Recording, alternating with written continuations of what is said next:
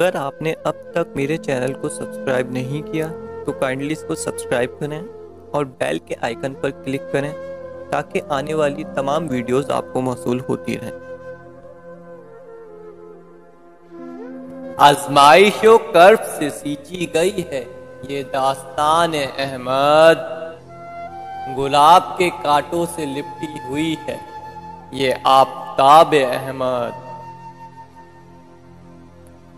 अगर आपको ये वीडियो अच्छी लगी हो तो इसको लाइक करें और कमेंट्स की सूरत में अपनी राय का इजहार करें, ताकि हमारी हौसला अफजाई हो।